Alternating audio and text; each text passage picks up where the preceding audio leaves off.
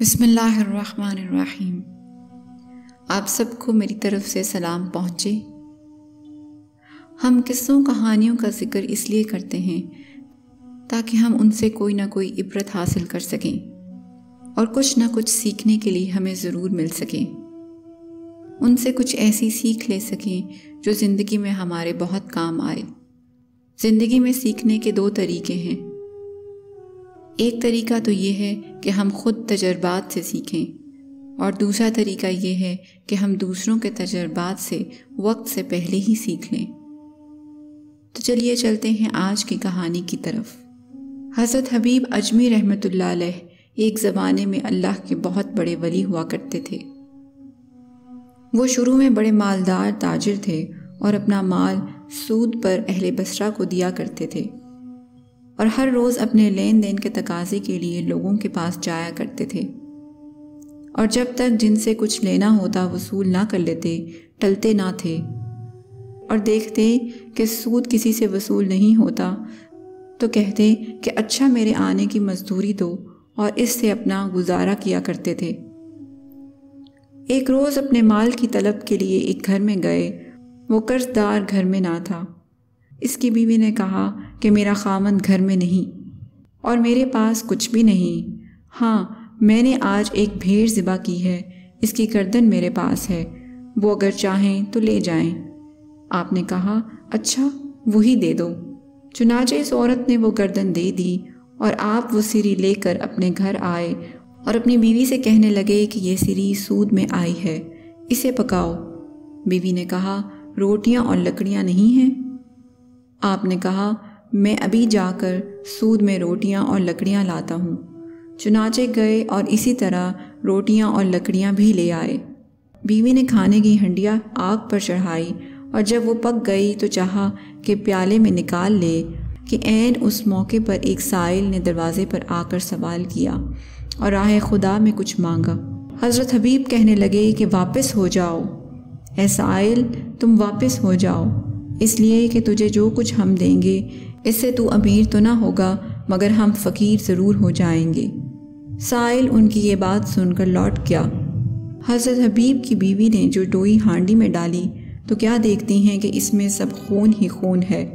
अपने खावन को बुलाया और दिखाकर कहने लगी, देखिए, ये आपकी बदबख्ती से हुआ क्या है? जब हज़रत हबीब ने ये देखा तो उनके दिल पर अल्लाह की तरफ़ से ऐसा असर हुआ कि आपकी हालत फ़ौर बदल गई और कहने लगे ए मेरी बीवी तो गवाह है कि मैं आज हर बुरे काम से तौबा करता हूँ। फिर आप बाहर निकले ताकि तमाम कर्जदारों को तलाश करके उन्हें ये बताएँ कि आइंदा आप सूद नहीं लेंगे। तफाकन वो रोज़ जुमे का था और गलियों में लड़के खेल रहे थे। इन लड़कों ने जब हज़रत हबीब को देखा तो आपस में कहने लगे, देखो, सूद खौर आ रहा है। अलग हो जाओ। ऐसा ना हो कि इसके पाँव की गर्द हम पर पड़ जाए और हम भी इसकी तरह बदबख्त हो जाएँ। जब यह आवाज़ हज़रत हबीब के कानों में पहुँची तो बड़े रंजीदा हुए और सीधे हज़रत हसन बसरी रहमत की मजलिस में आ गए। हज़रत हसन बसरी रहमतुल्लाह ने उन्हें तौबा कराई और कुछ नसीहतें बयान फरमाई। उसी वक्त हज़रत हबीब की काया पलट गई और आप वहाँ से अल्लाह के महबूब बन के निकले। वापस आते वक्त रास्ते में आपका एक मकरूज आपको देखकर भागा, कहीं आप उससे सूद न मांग लें। हज़रत हबीब ने उसे आवाज़ दी और फरमाया, भाई, अब तुम मुझसे ना भाग, अब मुझे तुझसे भागना चाहिए। ये कहकर अपने घर की तरफ़ लौटे। रास्ते में फिर वही लड़के खेलते हुए नज़र आए और उन्होंने हज़रत हबीब को आते देखा तो आपस में कहने लगे कि अलग हट जाओ। हबीब तौबा करके आ रहा है। अब जो हमारी गर्द इन पर पड़ गई तो ऐसा ना हो कि हम बेअदब और गुनहगार हो जाएँ। हज़रत हबीब रहमतुल्लाह ये जुमला सुनकर दिल में कहने लगे ए रब गफ़ूर, अजब तेरी रहमत है। कि इसी एक रोज़ में तुझसे सुलह की और तूने इसका असर अपनी मखलूक के दिल में पहुँचा दिया और मेरी नेक नामी मशहूर कर दी।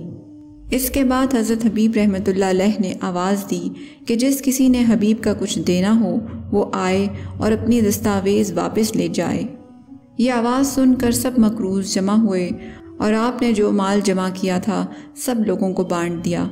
यहाँ तक कि आपके पास कुछ भी ना रहा। यह खूबसूरत और दिलचस्प कहानी हमें बहुत सारे इसबाक देती है। एक ये कि अल्लाह की रहमत बहुत वसी है और गुनहगार चाहे कितना ही गुनहगार क्यों ना हो, जब सच्चे दिल से ताइब हो जाए तो उसकी रहमत फ़ौर जोश में आ जाती है और उस गुनहगार को अपनी आगोश में ले लेती है। इस कहानी से हमें ये भी मालूम हुआ कि जो शख्स अल्लाह की बारगाह में कबूल हो जाता है तो अल्लाह अपनी मखलूक के दिल में उसकी मोहब्बत पैदा कर देता है और सब उसे चाहने लगते हैं। हमें चाहिए कि हम अल्लाह की मखलूक को किसी भी सूरत तंग ना करें और उनके लिए आसानियाँ पैदा करने की कोशिश करें। उम्मीद है आपको ये कहानी बहुत पसंद आई होगी। अपने राय हमें ज़रूर बताइएगा। हमेशा खुश और आबाद रहें। ये कहानी सुनने का बहुत शुक्रिया।